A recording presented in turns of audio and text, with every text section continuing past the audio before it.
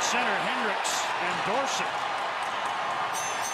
With a minute and a half to go. And Dorsett with the right hands.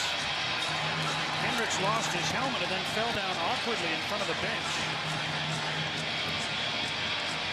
Well, he didn't lose his helmet. It was on its way off. And might have hurt his hand. Yeah, hurt his hand with 91 seconds left. Jacob Markstrom giving Derek Dorsett a little high five on the way by. There's a little slash back and forth and a little chat as they're going off for the change. And you want to go, you want to go. And we haven't seen much of this. I think this is the first fight the Canucks have had in the preseason.